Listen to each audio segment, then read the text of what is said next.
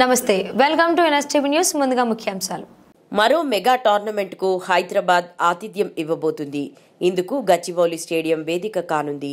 November పద్దెనిమిదవ తేదీ సోమవారం నాడు జీఎన్సీబీ స్టేడియం గచ్చిబౌలిలో ఇండియా మలేషియా జట్ల మధ్య ఫీఫా ఫ్రెండ్లీ మ్యాచ్ జరగనుంది. ఈ మ్యాచ్ నిర్వహణకు కావలసిన అన్ని ఏర్పాట్లు తెలంగాణ స్పోర్ట్స్ అథారిటీ ముమ్మరంగా పూర్తి చేస్తోంది.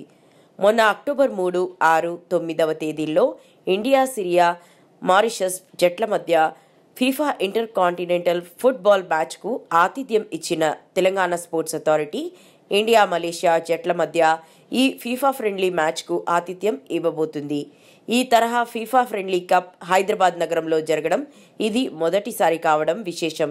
ఎంతో ఘనమైన చరిత్ర కలిగి ఫుట్బాల్ ఒలింపియన్స్ కేంద్రంగా పేరుగాంచి భారతీయ ఫుట్బాల్ క్రీడకు కేంద్రంగా వెలుగొందిన హైదరాబాద్ నగరంలో ఫుట్బాల్ క్రీడ తన చారిత్రక వైభవాన్ని కోల్పోతుంది. దశాబ్దాలుగా విస్మరించబడి దినదినం క్షీణించిపోతున్న ఈ క్రీడకు పునర్వైభవం తీసుకొచ్చేందుకు కృషి చేస్తామని రేవంత్ రెడ్డి అనేకసార్లు ప్రకటించారు. స్వయంగా ఫుట్బాల్ క్రీడాకారుడైన రేవంత్ రెడ్డి పలు సందర్భాల్లో వివిధ ఫుట్బాల్ క్రీడల్లో పాల్గొని నగర క్రీడాకారులను ఉత్తేజపరిచిన సంగతి విదితమే.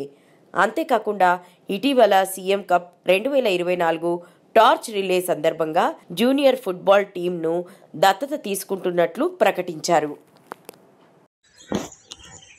hello Hyderabad hello Hyderabad hello Hyderabad hello Hyderabad hello Hyderabad hello Hyderabad wish you all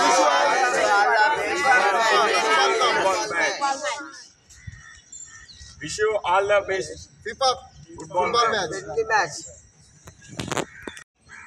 Hello Hyderabad చలో గచ్చిబౌలి హలో హైదరాబాద్